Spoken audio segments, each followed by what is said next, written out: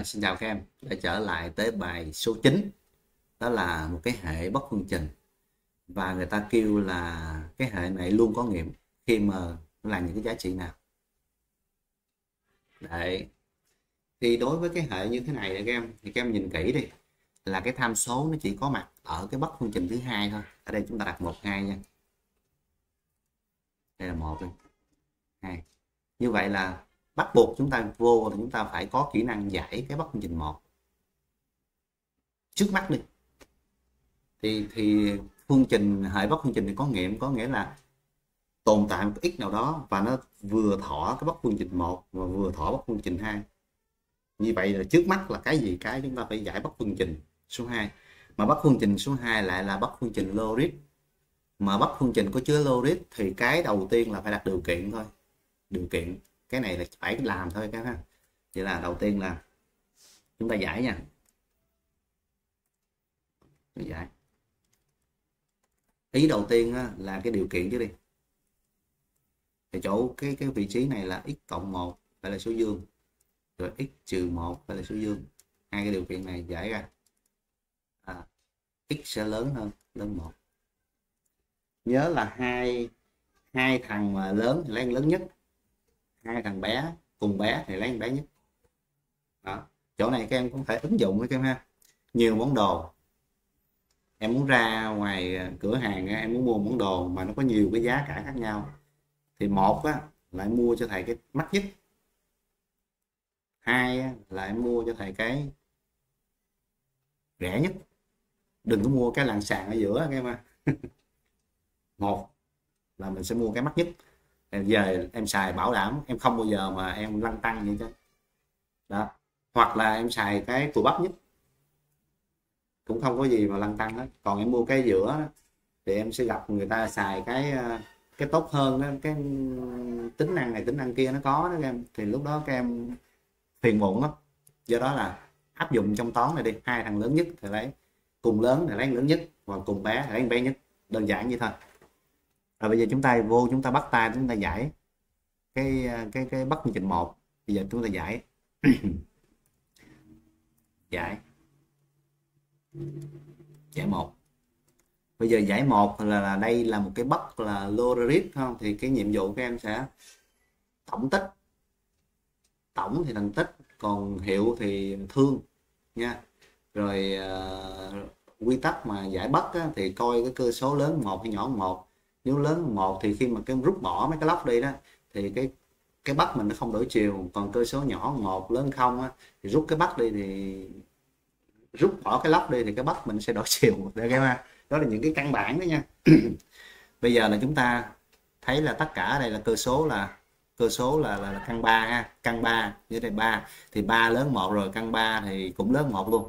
Do đó là cơ số đảm bảo ha. Chút xíu ta rút bỏ lóc thì chúng ta sẽ chúng ta sẽ, cái bắt chúng ta không đổi chiều. Và bây giờ chúng ta bắt đầu làm nha. Chỗ này chúng ta rút bỏ hai cái lóc đi. Bắt không đổi chiều. X cộng 1 sẽ lớn hơn là 2x trừ trừ 2 chuyển qua chuyển qua là x nó bé hơn thì chuyển lại, bé hơn 3 bé hơn 3 rồi, kết hợp điều kiện. Nhớ cái điều kiện nghe nhiều em quên đó kết hợp điều kiện. Kết hợp lớn 1 thì ta sẽ, ta được là x của mình từ 3 cho đến, từ 3 đến 1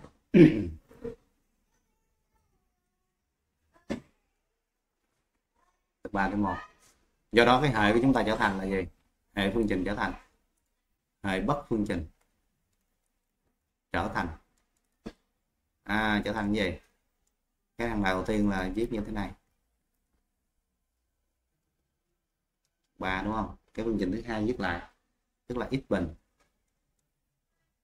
Trừ cho là 2m cộng 3x cộng 4m cộng 2 lên không?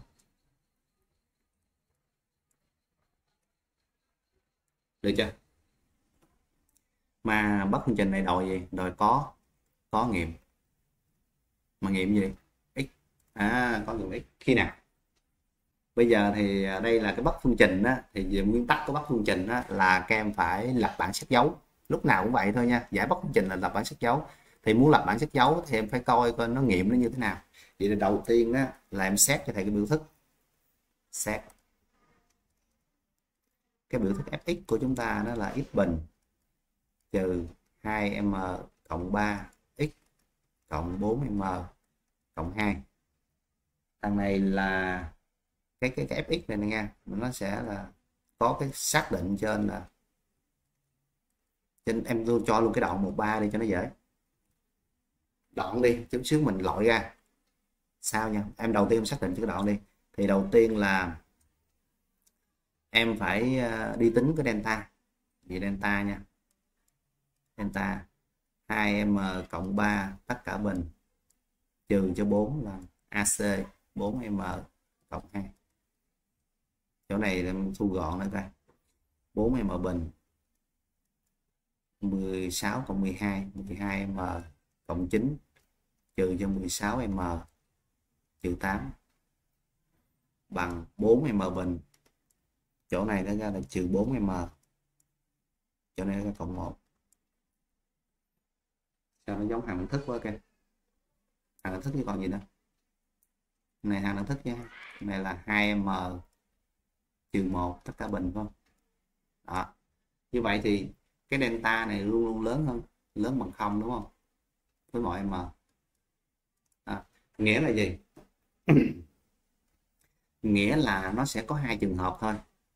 Tức là trường hợp này nè cái tam thức này nè cái f phải fx bằng không nè nó hoặc là có nghiệm kép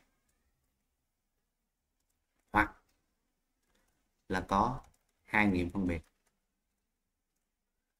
Đúng chưa? Rồi, nếu mà có nghiệm kép thì em sẽ đưa lên em xét dấu. Rồi nếu mà có hai nghiệm phân biệt thì em đưa lên xét dấu thì nó mới ra được cái cái bắt phương trình của mình nha. Còn cái này là đang xét cái tam thức bình thường thôi. Rồi, bây giờ là chúng ta chia làm hai trường hợp đi. Trường hợp 1 là trường hợp 1 chúng ta chia làm hai trường hợp nha. Trường hợp 1 tức là delta nó bằng không. Có nghĩa là gì? Có nghĩa là 2m trừ 1 này bằng không. Thì sẽ giải ra được là m bằng 1 phần 2 đó. mà với cái trường hợp mà m 1 phần 2 đó các em thì các em thảy nó vô trong thảy nó vô trong đây luôn. Tại nó giá trị cụ thể là thảy nó vô trong cái bắt rồi luôn. À, được chưa? Vậy là 2 vào số 2 ta được hai luôn các em. Quăng nó vô thẳng nó luôn. Số 2 bây giờ số 2 này, số 2 này giống nhau nha. Quăng luôn. Thì nó quăng vô luôn nè. Bắt đầu nè. Ta được cái gì? X bình phương nè. Bây giờ nhẩm trong đây luôn nha. Một, hai, nhẩm nữa. Sai nữa đây các em càng nhẩm càng ờ, tỉnh táo xuống nha. Hai nhân một, hai là một một là bốn, là trừ bốn. X. Rồi, ở đây là cộng 4 lớn không? Rồi, tương đương nha thằng này là gì? X trừ hai, tất cả bình lớn hơn không. Một em nhớ đó, một cái bình phương mà nó luôn luôn dương thì điều kiện của nó chỉ cần là gì? X trừ hai khác không là ok. Giải ra x khác khác hai. À x khác hai. X khác hai. Như vậy là tóm lại tóm lại là cái hệ của mình nó sẽ trở thành là x, mình từ 1 tới 3 và x khác, x 2 thì đương nhiên là em sẽ giải ra được là x có thể là nằm từ 1 cho đến đến 2 hoặc là x nó nằm từ 2 cho đến đến 3 tức là có nghiệm chứ còn nữa không có nghiệm. Có nghiệm. Coi nữa mà không phải là có có một nghiệm có vô số nghiệm mà nằm trong hai cái khoảng khoảng 1 2 tới khoảng 2 3 là cái thời này có nghiệm. Như vậy là suy ra cái m bằng 1 phần 2 này chúng ta nhận nha, nhận.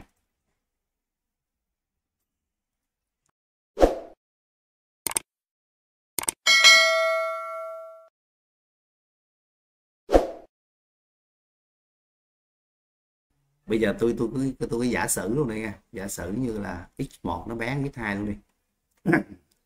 Rồi bây giờ là như vậy là cái bất phương trình 2 nó sẽ tương đương được là hai trường hợp. Trường hợp thứ nhất là x của nó đó sẽ bé hơn x1 và trường hợp thứ hai là x của nó phải lớn hơn gì? Lớn hơn là lớn x2 thì đầu tiên là em có thể đặt 13 nằm vị trí này em có thể đặt nó 13 nằm đây. 13 nằm đây. Là ok đúng không? Là chắc chắn là hệ có nghiệm. Hoặc là em đặt 13 ở đây. Là chắc chắn là hệ có nghiệm. Đúng không? Đó. Hoặc là trường hợp em đặt như vậy được không? Em đặt một cái một ở đây, một cái ba ở đây không? Là có nghiệm từ khúc này tới khúc này. Từ khúc từ khúc 1 x 1 nè.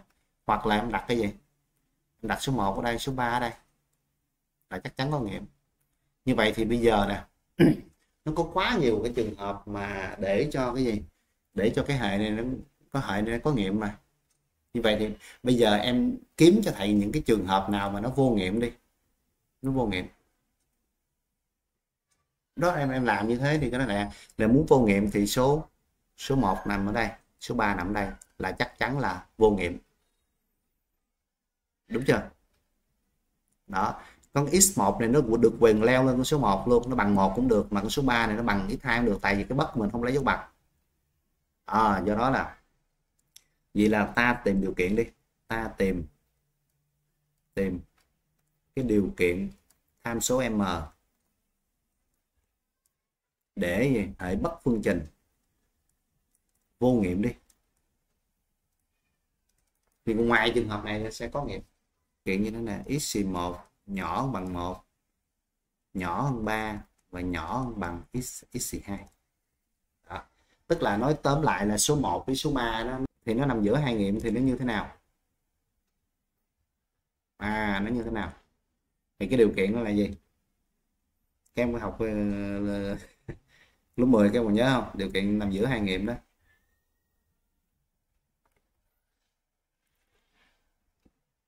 Nằm giữa hai nghiệm một số nằm giữa hai nghiệm đó. Thì thầy nhắc luôn cho các em ha. Thì là cái điều kiện ở đây là gì? Điều kiện ở đây tức là cái thằng A nhân cho F F1 đó, nó phải là số âm. Và A nhân cho F3 nó phải là số số âm. Và các em nhớ nha A ở đây là cái A này nè. AX bình cộng BX đó cộng C đó FX đó alpha là một cái số số thật số thật. Vì là điều kiện là cái điều kiện là alpha nó sẽ nằm giữa hai nghiệm.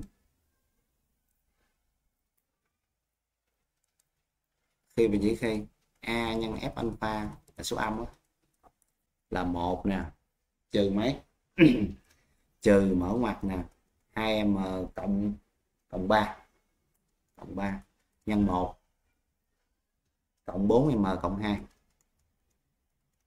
phải đổi số âm. Và chỗ này là 9 trừ cho 2m cộng 3 nhân đi cho mấy? Nhân đi cho 3 cộng cho 4m cộng 2 cũng là số âm. Rồi, bây giờ chúng ta giải ra. Ở đây chúng ta sẽ bung ra nha. Là 1 trừ 2m trừ 3 cộng 4m cộng 2 âm này 9 trừ cho 6m trừ 9 cộng 4m cộng 2 nhỏ không? Ở đây là mấy mấy m 2m ở đây là 2m nhỏ không? Rồi, ok. Ở trên đây nó sẽ là trừ 2m 99 hết, cộng 2 nhỏ không? Như là chỗ này là m nhỏ hơn không? Và chỗ này là m nó sẽ lớn hơn, lớn một. Vô nghiệp. Rồi, như vậy là mình vừa chỉ ra được là nếu như mà cái số 1 số 3 nằm giữa hai cái x1 x2 nè, thì luôn luôn là không có giá trị m.